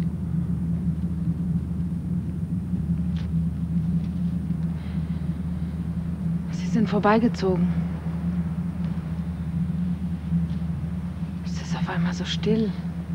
Ja, schön Staat. Wenn's nur wieder Staat wäret auf der Welt. Jetzt gehen wir schlafen. Gute Nacht. Gute Nacht.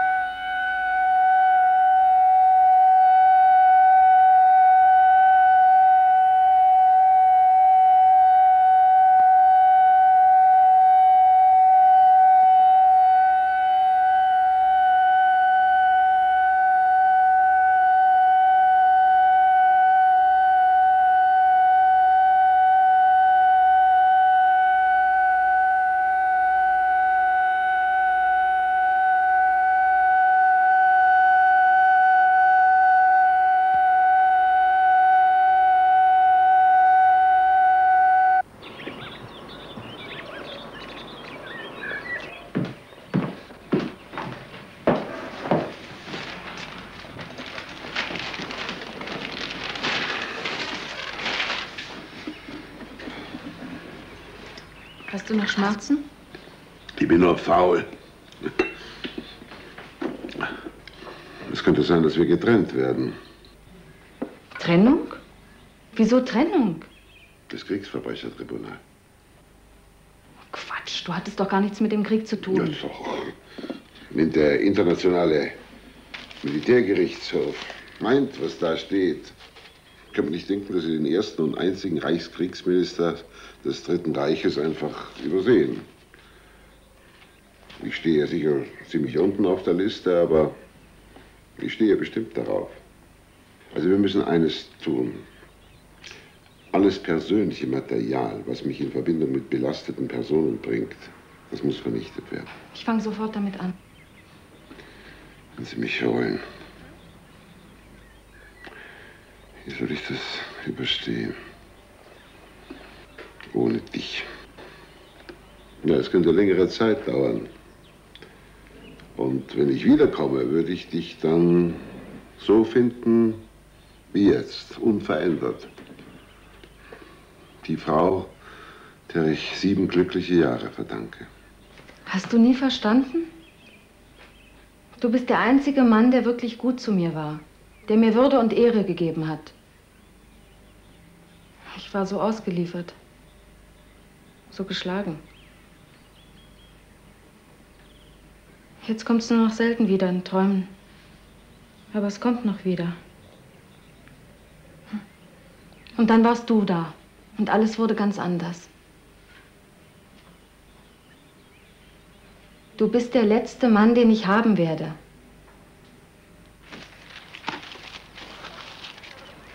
Ich habe nie gedacht, dass das so enden wird.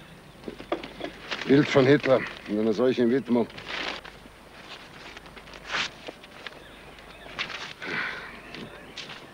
Da verbrennt mein Leben.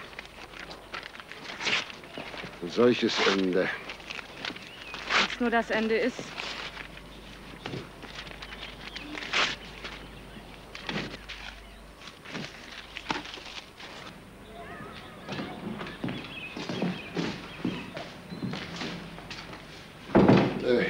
met my wife, Captain. Eh, darf dir Captain Graham vorstellen?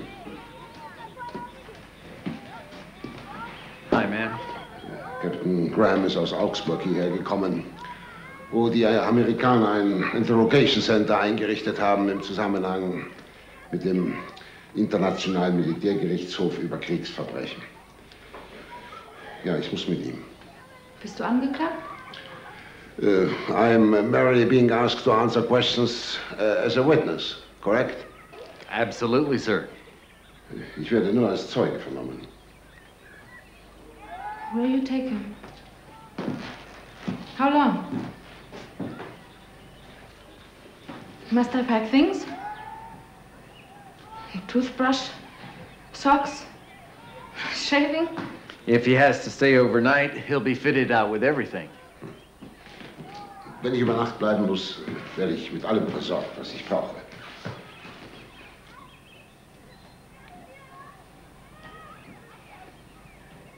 Time's run out, ma'am. We've got to push off. Wir müssen jetzt gehen. Ja, dann soll er uns gütigst alleine lassen. Ich brauche ihn nicht dabei, wenn ich mich von dir verabschieden muss. Would you mind leaving us alone for a moment? Okay. I'll be waiting outside. Ma'am.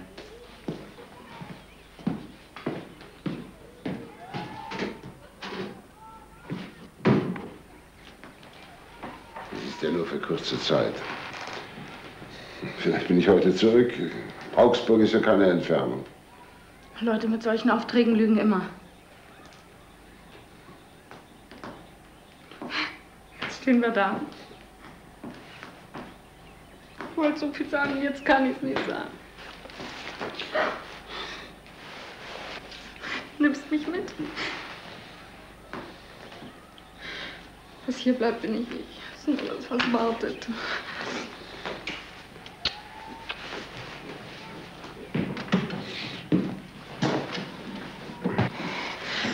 I kiss my husband, not you standing there. Okay, keep your shirt on, lady. Keep your shirt on. Damn you!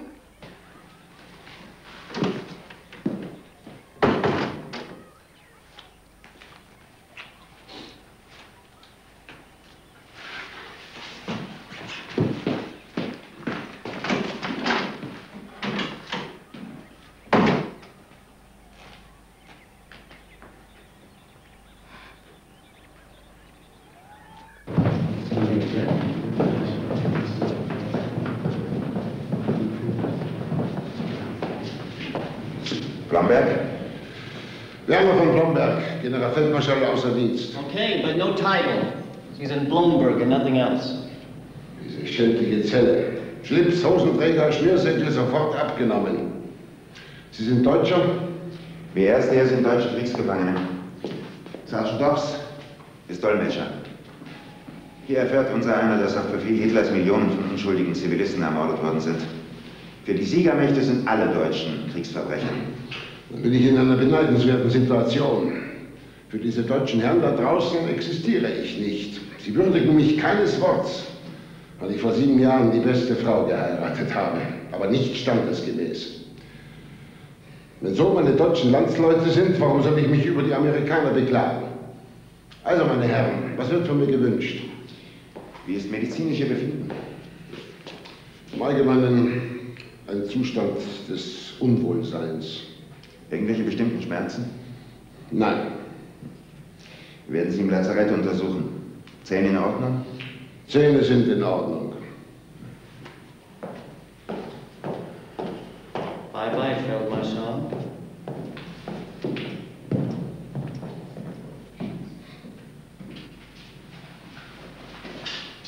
Waren Sie als Reichskriegsminister in näherem Kontakt mit Offizieren, deren Einstellung gegen Hitler Ihnen bekannt war?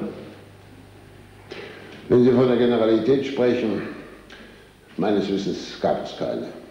Wer heute von einer Gegnerschaft bis 1938 oder 1939 spricht, dessen Gedächtnis hat sich verschoben. Ich habe hundertfältig gesehen, wie unsere Offiziere sich Hitler gegenüber verhalten haben. Von einer Gegnerschaft war bis 1938 nichts zu spüren. War Generaloberst von Fritsch kein Gegner? Ja, sicher hatte er starke konservativ-kritische Vorbehalte gegen die Partei. Aber wir alle, die wir das Chaos der Weimarer Republik miterlebt hatten, konnten einen Führer nur bewundern, der einem Land, das durch den Versailler Vertrag gedemütigt war, in so kurzer Zeit die ihm gebührende Weltgeltung wiedergegeben hat. Erinnern Sie sich an keinen Fall einer persönlichen Stellungnahme des Generals von Fritsch gegen Hitler? Ja. Wie verhielt er sich beim Röhmputsch? Herr von Fritsch wandte sich scharf gegen die Exekution der SA-Führer und auch gegen die Erschießung von zwei Generalen, die Hitler ohne rechtliches Verfahren anbefohlen hatte. Mir aber erschien es als das Wichtigste, die Verdrängung des traditionellen Heeres durch eine revolutionäre SA-Volksmiliz zu verhindern. Das wäre für Deutschland und für die Welt weitaus gefährlicher geworden.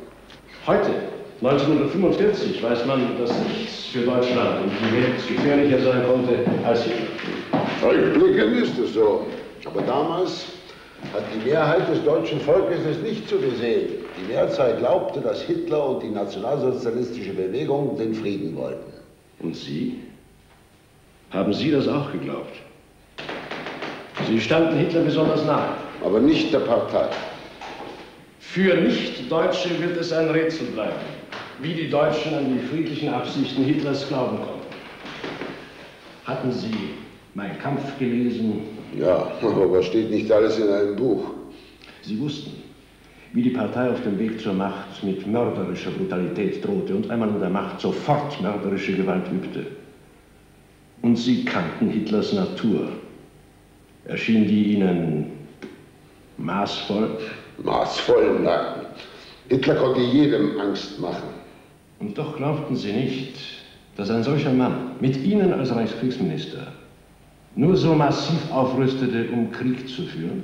Sie glaubten nicht, dass seine von Drohungen triefenden Reden furchtbarer mörderischer Ernst werden mussten und zu Massenverbrechen an Unschuldigen führen würden, die in der Weltgeschichte gelinde gesagt selten, wenn nicht einzigartig sind. Vor 1938 wusste ich, dass wir uns in einer revolutionären Situation befanden, wo Recht und Unrecht nicht auf der Apothekerwaage gewogen werden. Das war so in Russland von 1917 an, in Frankreich 1789, in England unter Cromwell. Von den Massenverbrechen während des Krieges in den eroberten Gebieten konnte ich nichts wissen. Ich lebte mit meiner Frau in einem Provinzwinkel, vollkommen isoliert. Solange ich im Amt war, habe ich immer mäßigend zu wirken versucht. Ich wusste, dass Deutschland einen zweiten Zwei-Fronten-Krieg nicht überleben würde. Erst als Hitler am 5. November 1937 uns seinen Entschluss zum Eroberungskrieg bekannt gab, da begann ich zu ahnen, dass sein Verhalten auf Massenversammlungen nicht bloß politisches Theater gewesen war, sondern Ausdruck einer maßlosen Natur, eines maßlosen Geistes. Damals habe ich protestiert und gewarnt, ebenso wie Herr von Fretsch. Und obwohl Sie Hitler endlich durchschaut hatten, waren Sie es, der ihn die Wehrmacht auslieferte. Stimmt das nicht?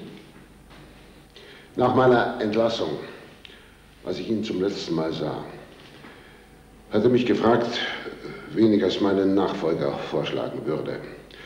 Und ich habe ihm damals geraten, den Posten des Kriegsministers unbesetzt zu lassen. So würde er de jure und de facto die Wehrmacht ganz in seinen Händen haben.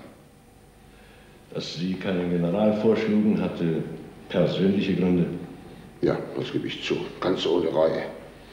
Es war die Generalität, die Herren, die ich unten im Gang treffe und die mich keines Blickes würdigen. Dieselben verkalkten Herren, einzementiert in ihren Vorurteilen, die wegen meiner unstandesgemäßen Ehe meine Karriere zerstörten. Auch heute wüsste ich mit gutem Gewissen keinen, den ich zum Kriegsminister hätte vorschlagen können, jedenfalls keinen, der sich gegen Hitler durchgesetzt hätte. Ich selbst begriff erst 1942, Mitte 1942, als Hitler an der Ostfront drei Offensiven gleichzeitig vorantrieb, dass sich das Feldherrnschwert einem Dilettanten in die Hände gedrückt hatte. Stalingrad war die Katastrophe des Dilettantismus. Auch wenn einer dieser verkalkten Herren Kriegsminister gewesen wäre, wäre es nicht anders gekommen. Dass ich eine Schuld trage. Tragen Sie keine? bei all Ihrer Verantwortung? Was ist Schuld? Man glaubt zu schieben und man wird geschoben. Lässt sich Kriegsschuld je absolut fixieren? Geschichte geschieht. Machen sich alle Deutschen so leicht? Wenn sie nicht die überwältigende, eindeutige deutsche Kriegsschuld sehen, dann, dann ist es ein Vorteil, dass sie nicht auf der Anklagebank sitzen. Vielleicht sparen Sie mich für die Anklagebank nur auf. Sie sind als Zeuge hier. Und Sie werden für den Militärgerichtshof zu Papier bringen, recht kurz, wie Sie Hitler, sich selbst und Deutschland beurteilen. Waren Sie je in einer dieser Zellen? Da könnte ich nur auf den Fußboden schreiben und obwohl ich den täglich kehre, ist das sehr schmutzig. Wir werden Ihnen einen Tisch und einen Stuhl hineinstellen lassen.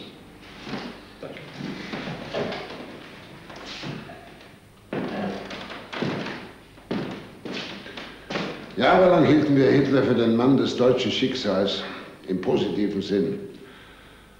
Aber Hitler hat Deutschland in den Abgrund geführt. Davon kann ihn niemand entlasten. Und die Generalität marschierte hinter ihm geschlossen in den Abgrund. Im Krieg verlor die Generalität ihr Vertrauen zu ihm. Nicht zuletzt wegen der schmählichen Verbrechen, die im Osten in seinem Namen verübt wurden. Nicht zuletzt. Wie bewiesen denn diese Herren ihre sittliche Empörung, ihr verlorenes Vertrauen? Nach Stalingrad, nach Kursk, da murrten vielleicht welche. Sehr vorsichtig. Aber sie ließen ihn doch gewähren. Sie folgten ihm dann noch ein Jahr und zehn Monate lang von Niederlage zu Niederlage zu Niederlage. Wer von diesen Herren versuchte denn diesem manischen Größenwahnsinnigen in den Arm zu fallen? Um das Vaterland zu retten. Das war nicht möglich. Aber war es nicht die Ehrenpflicht echter Vaterlandsliebe, es zu versuchen? Ob möglich oder nicht. Wer von der Generalität versuchte es denn? Außer den Männern des 20. Juli. Was hielten Sie von denen? Für mich waren sie Meuterer und Verräter. Darum war es nicht möglich.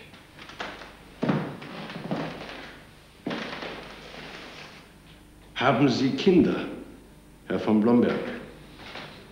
Meine beiden Söhne sind gefallen.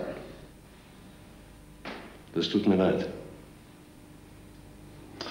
Eure militärische Courage bewundert die Welt. Aber für Zivilcourage war Deutschland ein steiniger Boden. Vielleicht wird es einmal ein anderes Deutschland geben. Wird es je wieder ein Deutschland geben?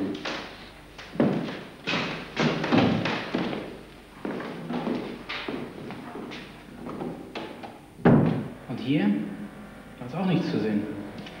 Die Lunge ist in Ordnung. Röntgenologisch ist alles einwandfrei. Dann kann ich jetzt gehen. Sie fühlen sich nicht besser nicht schlechter. Einfach diese Schlaffheit. Ein Gefühl des Unwohlseins. Aber wer fühlt sich wohl hier? Danke, meine Herren.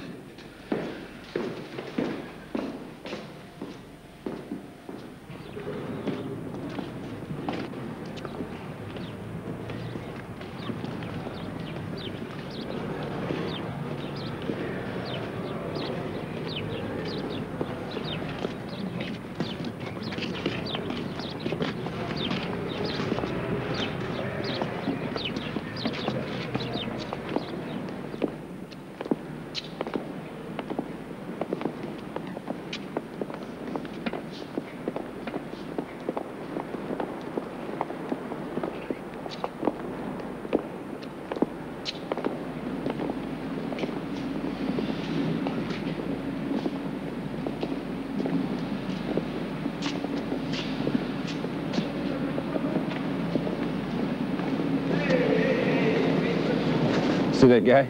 Keep stopping. Anything wrong?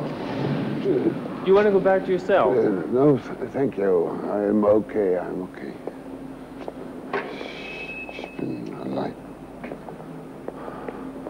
Allein, allein. Sie auch.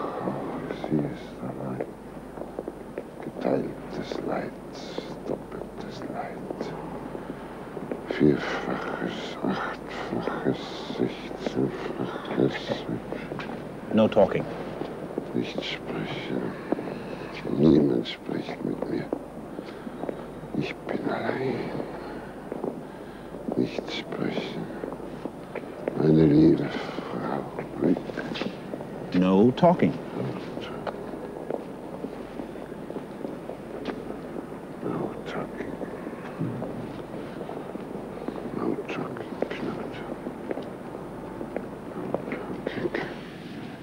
Gliedmaßen abschneiden, aber wenn einer Krebs hat und ich sehe ihn jeden Tag, bleibe ich ahnungslos. Es gab keine Anzeichen von Krebs damals. Sinnlos zu schneiden. Wenn es bereits auf die Knochen übergegangen ist, klar zu sehen. Hier, hier und auf die Leber. Da. Keine Hoffnung. Er hat eine Frau. Müsste herkommen. Er hat auch zwei Töchter aus erster Ehe. Seine Frau wird sie wohl verständigen. Ich werde ihm die Wahrheit sagen. Einem Mann wie ihm muss man die Wahrheit sagen.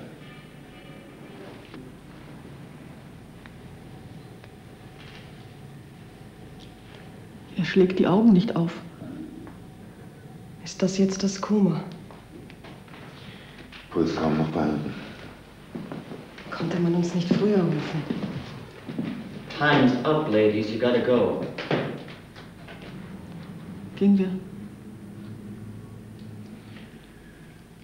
Wacht nicht mehr auf.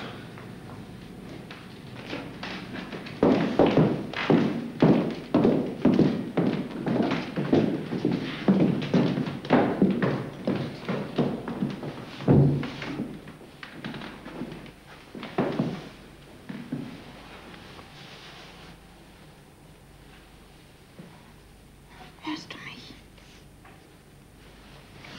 Hörst du mich?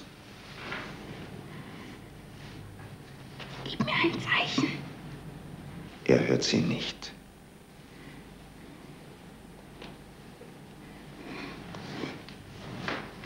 Er hat mich gehört.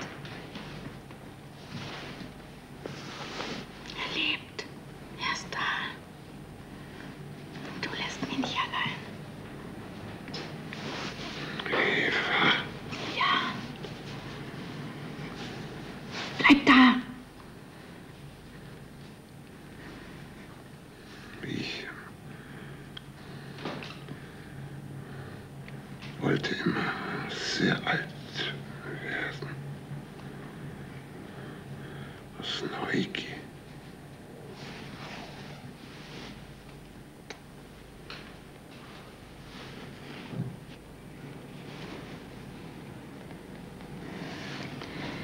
Ist er tot? Er hat mich gesehen, gehört. Ich weiß nicht, ob er, ob er lebt oder tot ist. Er ist tot. Ich weiß nicht. Ich weiß nicht, ob er lebt oder Komm. Bitte. Ma'am, you have to go. Lebt oder tot ist. Er hat mich gesehen.